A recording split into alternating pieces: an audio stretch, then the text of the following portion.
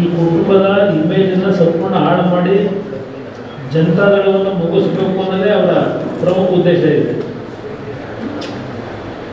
ಯಾವ ಕಾರಣಕ್ಕೂ ಸಾಧ್ಯ ಆಗೋದಿಲ್ಲ. ನನಗೆ ವಿಶ್ವಾಸ ಇದೆ. ದ್ವೇಷ ಯಾವ ಕಾರಣಕ್ಕೆ? ದ್ವೇಷ ನಿಮಗೆ ಕೆಲವು ಮಾತುಕತೆಯಲ್ಲಿ ನೋಡಿದ್ರೆ ಗೊತ್ತಾಗುತ್ತೆ ದೇಶ ಯಾಕೆ ಬರುತ್ತೆ? ಅವ್ರು ನಡೆಸ್ತಿರ್ತಕ್ಕಂಥ ಹಲವಾರು ಅಕ್ರಮಗಳನ್ನು ಹೊರಗೆ ತೆಗೆದು ಓದ್ತಕ್ಕಂಥದ್ದು. ಈಗ ನನ್ನ ಮೇಲೆ ಹೇಳ್ತಾರೆ ನಾನು ಇವತ್ತು ನಿಮ್ಗೆ ಹೇಳ್ತೀನಿ ನಾನು ರಾಜ್ಯದಲ್ಲಿ ಮುಖ್ಯಮಂತ್ರಿ ಇದ್ದಾಗ. ಶಿವಕುಮಾರ್ ಅವರ ವ್ಯವಹಾರದಲ್ಲಿ ಏನು ಕೆಲವು ಸರ್ಕಾರಕ್ಕೆ ತೆರಿಗೆ ಕಟ್ಟತಕ್ಕಂಥ ಹಣದ ದೋಖ ಮಾಡಿದ್ರು, ಅದ್ರ ಬಗ್ಗೆ ಅಧಿಕಾರಿಗಳ ಕ್ರಮ ತಗೊಂಡ್ರೆ ನನ್ನ ಮೇಲೆ ತೋರೋದೇನಾಗುತ್ತೆ ನಾನು ರಾಜ್ಯದ ಮುಖ್ಯಮಂತ್ರಿಯಾಗಿ ಯಾವುದೇ ವ್ಯಕ್ತಿಗಳ ಬಗ್ಗೆ ಯಾವುದೇ ಒಬ್ಬ ಪೊಲೀಸ್ ಅಧಿಕಾರಿ ಇರಲಿ ಯಾರೇ ಒಬ್ಬ ಕಾನೂನು ವ್ಯಾಪ್ತಿಗೆ ಬರ್ತಕ್ಕಂಥ ಆಫೀಸರ್ಗಳಿದೆ ನನ್ನ ಶತ್ರುಗಳನ್ನು ನಾಶ ಮಾಡಲಿಕ್ಕೆ ಅವರನ್ನು ದುರುಪಯೋಗ ಪಡಿಸ್ಕೊಂಡಂಥದ್ದು ಒಂದೇ ಒಂದು ಪ್ರಕರಣ. ಯಾರಾದರೂ ಇವತ್ತು ಹೇಳ್ಬಿಟ್ಟೆ ರಾಜಕೀಯದಲ್ಲಿ ಇರ್ಬೋದು ಇವತ್ತು. ನಾನು ಯಾರೋ ಒಬ್ಬರು ಬಗ್ಗೆ ಇವತ್ತು ನಾನು ಹಲವಾರು ಬಾರಿ ಹೇಳಿದ್ದೇನೆ. ನಾನು ಎರಡನೇ ಬಾರಿ ಮುಖ್ಯಮಂತ್ರಿ ಆದಾಗಲೂ ಕೆಲವು ಅಫಿಷಿಯಲ್ ಪೋಸ್ಟಿಂಗ್ಗೆ ಹಣದ ಆಮಿಷ ಕೊಟ್ಟದು ನಾನು ಆ ರೀತಿ ಬಂದಂಥವ್ರನ್ನ ದೂರ ಇಟ್ಟೆ. ಈಗ ಮೊದಲನೇ ಬಾರಿ ಮುಖ್ಯಮಂತ್ರಿ ಇದ್ದಾಗ, ಲಾಟ್ರಿ ಬ್ಯಾನ್ ಮಾಡಿದಾಗ, ಯಾರು ಬಂದಲ್ಲಿ ವೆಸ್ಟ್ ಬಿಟ್ಟಿಸರ್ ಮೇಲೆ ಕೂತಿದ್ದಲ್ಲ. ಯಾರು ನಮ್ಮ ಆಫೀಸರ್ ಬಂದು ಹೇಳಿದ್ರು ಸರ್ ನೋಡಿ ಬಂದು ಕಾಯ್ತಾ ಇದ್ದ ನಿಮ್ಗೆ ಭೇಟಿ ಮಾಡಬೇಕು ಅಂತ. ಗೆಟ್ ಅದು ಇಂಥ ಪಾಪದ ಹಣದಲ್ಲಿ ರಾಜಕೀಯ ಮಾಡಬೇಕು ಅಂತಕ್ಕಂಥ ನಮ್ಮ ತಂದೆ ನನ್ಗೆ ಕಲಿಸಿಲ್ಲ ಅಂತ. ಆದರೆ ಇಲ್ಲಿ ಕೆಲವು ಕಾಮಗಾರಿ ಚಟುವಟಿಕೆಗಳ ವಿಷಯದಲ್ಲಿ ನಾವೇನು ಚರ್ಚೆ ಮಾಡ್ತೀವಿ. ಇವತ್ತು ಅದೇ ನಮಗೆ ಮುಳ್ಳಾಗಿದೆ ಇನ್ನು ಎರಡು ಕೇಸ್ ನಾನು ಹನ್ನೆರಡು ವರ್ಷದಿಂದ ನಡೆಸ್ತಾ ಇರೋದು ನನ್ನ ಮೇಲೆ. ಯಾಕೆ ನನ್ನ ಮೇಲೆ ಕೇಸ್ ಹಾಕೋದು? ಆ ಕೇಸಲ್ಲಿ ಏನೂ ಬಂಡವಾಳ ಇಲ್ಲ. ನಾನು ಮೆರಿಟ್ ಮೇಲೆ ಆಗಲಿ ಅಂತ ನಾನು ಅಧಿಕಾರದಲ್ಲಿ ಇದ್ದಾಗ ಕೇಸ್ನ ಕ್ಲೋಸ್ ಮಾಡಿಲ್ಲ. ಹಾಗೆ ಬಿಟ್ಟಿದ್ದೀನಿ. ನಾನು ಎರಡನೇ ಬಾರಿ ಮುಖ್ಯಮಂತ್ರಿ ಇದ್ದಾಗ ಎರಡು ಪ್ಲೇಸ್ನ ಕೂಡ ಕ್ಲೋಸ್ ಮಾಡ್ಬೋದಾಗಿತ್ತು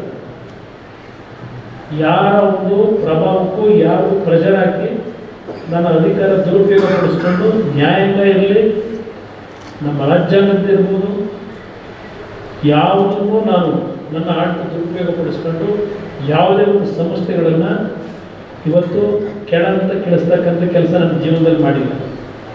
ಈಗಲೂ ಅದನ್ನು ಹೇಳೋದು, ಇದು ನಾವು ಯಾವೊಂದು ಪಾರದರ್ಶಕವಾಗಿದ್ದೇವೆ ಅದೇ ಕೆಲವರಿಗೆ ಇವತ್ತು ತಡೆಯಲಿಕ್ಕೆ ಆಗ್ತಾ ಇದೆ. ಅದರಿಂದ ಇವೆಲ್ಲ ಅನುಭವಿಸ್ತಾ ಇದ್ದೇವೆ. ಈ ಪ್ರಕರಣದ ಬಗ್ಗೆ ಕುಮಾರಸ್ವಾಮಿ ಅವರು ಮಾತಾಡ್ತಿದ್ದಾರೆ. ಡೀಟೇಲ್ಸ್ ಅವರೇ ಕೊಡ್ತಿದ್ದಾರೆ ಈಗ ಪ್ರಜ್ವಲ್ ಫ್ಯಾಮಿಲಿನ ಕಾಂಟ್ಯಾಕ್ಟ್ ಮಾಡಿದ್ರೆ? ಯಾವ ತರ ಚರ್ಚೆ ನಡೀತಿದೆ ಮುಂದೆ ನಾನು ಒಂದು ನಿಮಿಷ. ರೇವಣ್ಣ ಅವರು ಮೊನ್ನೆ ಬೇಲಾದ ಮೇಲೆ ಬಂದ ನಂತರ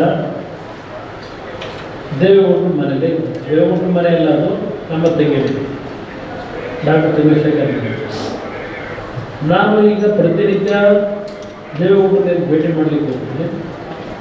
ಒಂದು ಎರಡು ಬಾರಿ ಅವನ್ನ ಭೇಟಿ ಮಾಡಿದ್ದೆ ನಾನು ಅವ್ರಿಗೂ ಹೇಳಿದ್ದೆ. ಅವ್ರಿಗೂ ಗೊತ್ತಿಲ್ಲ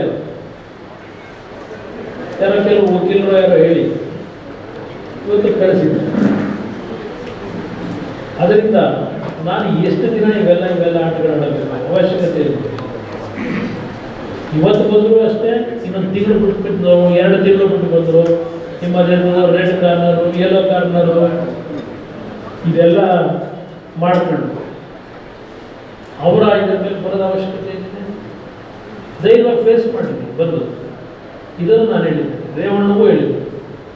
ಯಾವುದೇ ಕಾರಣಕ್ಕೂ ಈ ವಿಷಯದಲ್ಲಿ ಎಲ್ಲಿದ್ದರೂ ಅವನ್ನ ಕರೆಸ್ತಕ್ಕಂಥದ್ದಕ್ಕೆ ಒಂದು ಮಾಧ್ಯಮದ ಮುಖಾಂತರವಾದರೂ ಸರಿ, ಯಾವುದಾದ್ರೂ ಮುಖಾಂತರವಾದರೂ ಸರಿ. ಏನ್ ನಮ್ಮ ಫೋನಲ್ಲಿ ಟ್ರ್ಯಾಪ್ ಇದರಲ್ಲಿ ಇಟ್ಟವ್ರೆ. ಗೊತ್ತಿದೆ ನಿಮಗೆ? ಸುಮಾರು ನಲವತ್ತು ಜನದ್ದು ನಲವತ್ತೈದು ಜನದ್ದು ನನ್ನ ಸುತ್ತಮುತ್ತ ಇರ್ತಕ್ಕಂಥವ್ರು ಯಾರಿದ್ದಾರೆ? ಅವರ ಎಲ್ಲರ ಫೋನು ಟ್ಯಾಪ್ ಮಾಡಿ ಟ್ಯಾಪಿಂಗ್ ಆಗ್ತದೆ ನನಗೆಲ್ಲ ಗೊತ್ತಿದೆ. ಬಹುಶಿಷ್ಟದವ್ರ ಮಾಹಿತಿ ನನ್ನ ಫೋನಲ್ಲಿ ಏನೇನು ಚರ್ಚೆ ಮಾಡ್ತೀನಿ ಏನೆಲ್ಲ ಅವ್ರ ಮಾಹಿತಿ ಇರ್ತದೆ.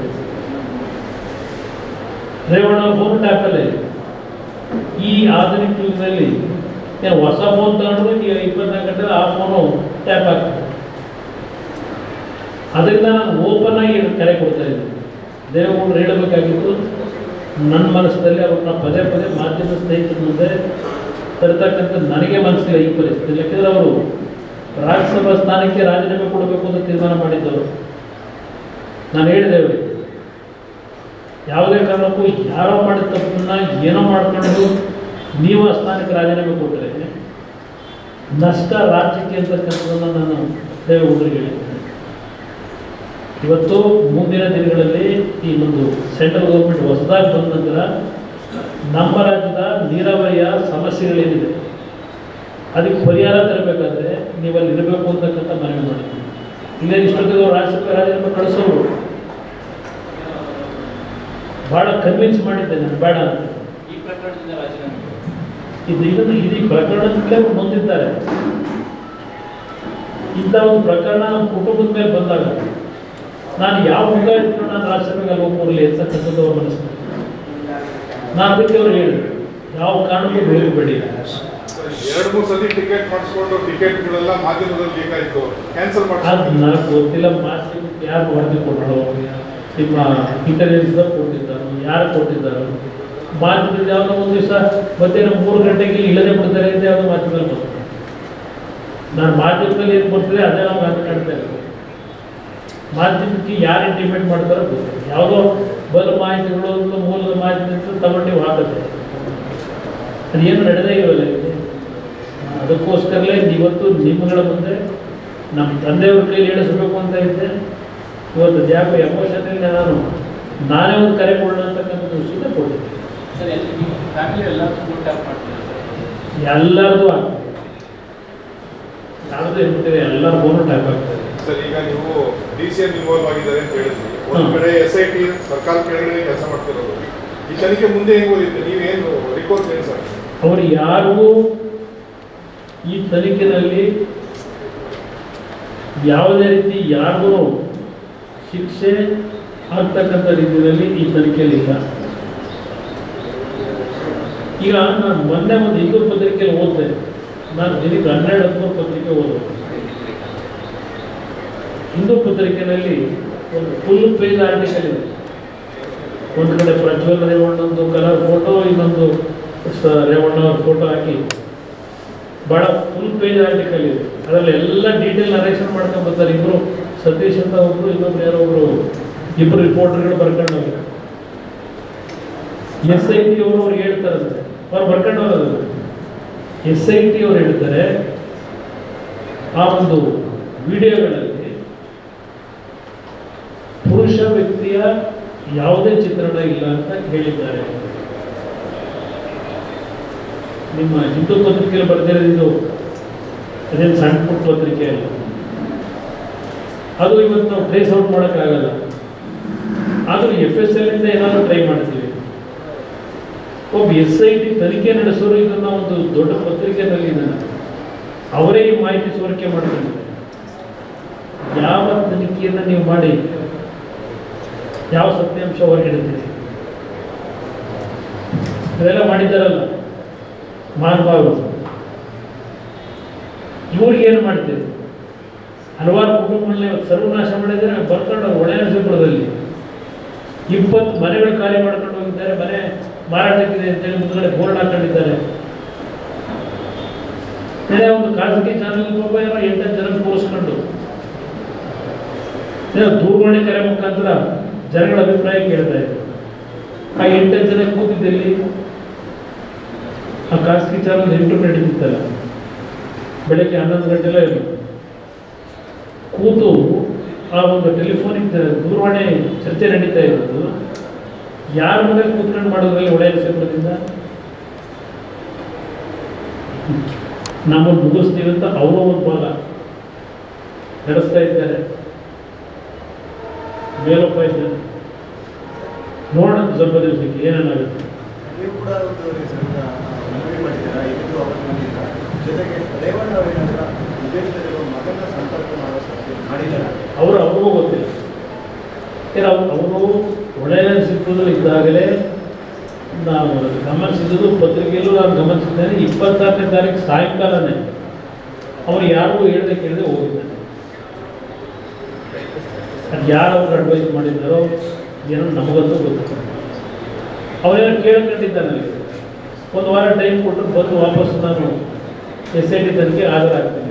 ಅವ್ರು ನಕಾರ ಮಾಡೋದು ಅದ್ರ ಜೊತೆ ಒಂದು ರೇಪ್ ಅಂತ ಹೇಳಿ ಮತ್ತಿನ್ನೊಂದು ಆ ಒಂದು ಕ್ಲಾಸಲ್ಲಿ ಇದನ್ನು ಹಾಕೊಂಡು ಇದನ್ನು ಅಡಿಷನಲ್ ಸೆಕ್ಷನ್ ಹಾಕೊಂಡು ಹೋಗಿ ಅಂತ ಹೇಳಿ. ಅಲ್ಲೇ ಬರ್ಕೊಂಡಿದ್ದೀವಿ ಇದೆಲ್ಲ ಆದಮೇಲೆ ಬಹುಶಃ ಅವ್ರಿಗೆ ಯಾರು ಹೇಳಿದ್ರು.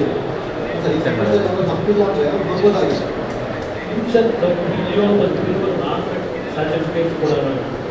ಇಲ್ಲಿ ಪ್ರಶ್ನೆ, ಮೊದಲು ಅವ್ರು ಹಾಕೊಂಡಂಥ ಸೆಕ್ಷನ್ ಎರಡನೇ ಸೆಕ್ಷನ್ ಇಲ್ಲೇ ಬರ್ಕೊಂಡು ನಾನು ನಾನು ಹೇಳ್ತಿರೋದಲ್ಲ ಪತ್ರಿಕೆಯಲ್ಲಿ ಬಂದಿಲ್ಲ ಎರಡನೇ ಸೆಕ್ಷನ್ನಲ್ಲಿ ರೇಪ್ ಅಂತಕ್ಕಂಥದ್ದನ್ನ ಅಡಿಷನ್ ಮಾಡಿಸಿದ ಸೆಕ್ಷನ್ ಅಂತ ಹೇಳಿ ಬರ್ಕೊಂಡು ಅದು ಮಾಡಬೇಕು. ಇವಾಗ ಒಂದು ವಾರ ಟೈಮ್ ಕೊಡಿ, ಬರ್ತೀನಿ ಪರೀಕ್ಷೆ ಕೇಳ್ಕೊಂಡಿದ್ದಂತೂ ಅದು ಬರ್ತೀನಿ ಒಂದು ವಾರ ಟೈಮ್ ಕೊಟ್ಟಿದ್ರೆ ಬಹುಶಃ ಬರ್ತೀನಿ ರೇಪ್ ಅಂತಕ್ಕಂಥದ್ದು ಇನ್ನೊಂದು ಅಡಿಷನ್ ಸೆಕ್ಷನ್ ಹಾಕೊಂಡಿದ್ದೆ. ಅವನ್ನೆಲ್ಲ ವಕೀಲರು ಯಾರೋ ಯಾರು ಹೇಳಿದರು. ಈ ಸದ್ಯಕ್ಕೆ ಬರಬೇಡ ಬೇಲ್ ತಗೊಳ್ಳೋರಿಗೆ ಯಾರು ಇವೆಲ್ಲ ಹಲವಾರು ವಿಷಯದಲ್ಲಿ ಹಲವಾರು ಕೆಲವರು ಅಡ್ವೈಸ್ ಮಾಡ್ತಾರೆ. ಅದರಿಂದ ಇವತ್ತು ನಾನೇ ನನ್ನ ನಮ್ಮ ತಂದೆ ರಾತ್ರಿ ರಿಕ್ವೆಸ್ಟ್ ಮಾಡಿದೆ ನಾಳೆ ನನಗೆ ದಯವಿಟ್ಟು ಒಂದು ಮುಚ್ಕೊಂಡು ಹೇಳ್ಬಿಡಿ. ನಾನು ಇವೆಲ್ಲ ನಡೀತಿರೋದು ನೋಡಿ. ನಾನೇ ಇವತ್ತು ಇವತ್ತು ಓಪನ್ ಆಗಿ ಹೇಳಿದೆ ಇವತ್ತು ನಾನು ಮನವಿ ಮಾಡೋದು ದೊಡ್ಡವ್ರ ಬಗ್ಗೆ ನನ್ನ ಪಕ್ಷದ ಕಾರ್ಯಕರ್ತರ ಬಗ್ಗೆ. ಅವ್ರಿಗೆ ಗೌರವ ಇದೆ ಬಂದು ಸರಂಡರ್ ಸರಂಡರ್ ಅಂತಕ್ಕಂಥ ಪದ ಹೇಳಲ್ಲ ತನಿಖೆಗೆ ಸಾಕಾರ ಮಾಡ್ತೀವಿ. ಮಾಡಲೇಬೇಕಲ್ಲ? ನನ್ನ ಅಭಿಪ್ರಾಯದಲ್ಲಿ ಇದನ್ನು ತಾರ್ಕಿಕ್ ಎಂಟಿಗೆ ತಗೊಂಡು ಹಿಟ್ ಅಂಡ್ ರನ್ ಅಲ್ಲಿ